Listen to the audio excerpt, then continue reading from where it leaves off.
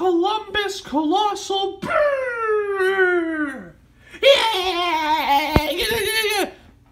I love Baby Einstein for Fiona or Amy.